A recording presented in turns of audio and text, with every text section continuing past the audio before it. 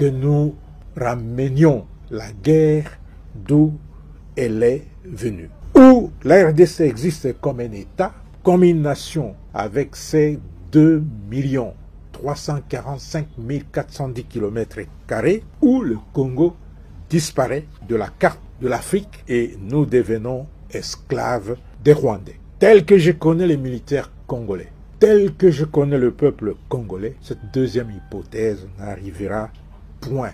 Elle n'arrivera jamais. Battons-nous. Sous l'impulsion du commandant suprême de notre armée, l'accompagnement du gouvernement de la République démocratique du Congo et les commandements du chef d'état-major général des forces armées, toute la posture militaire a été mise en place pour nous rendre capables de faire face à toutes les éventualités. Luttons pour la nation, levons-nous, combattons, défendons notre pays jusqu'à la dernière goutte de sang.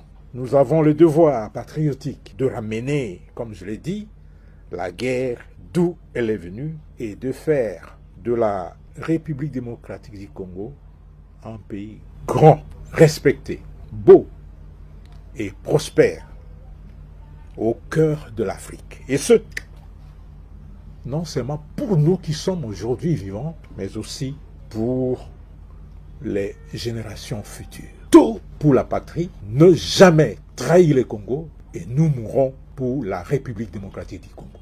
Défendons notre pays jusqu'à la dernière goutte de sang, c'était là les propos du général-major Ekenge Bomoussaïfomi Sylvain, qui constitue aussi une réplique sur le communiqué d'IFM 23 et c'est ici que prend fin euh, la chronique des forces armées de la République démocratique du Congo qui a été diffusée sous la coordination du général-major Ekenge Bomoussaïfomi Sylvain, supervision du général de brigade Batabombia Panza Jean-Daniel, le sous-lieutenant d'excellence était à la présentation, le lieutenant-colonel Bosso Lissassi Freddy, le lieutenant Nabandi Dieudonné, le sous-lieutenant Trésor Silouvang et le lieutenant Kakessa été à la réalisation, à la prise des sons et la prise euh, de vie euh, de ces chroniques. À la prochaine occasion.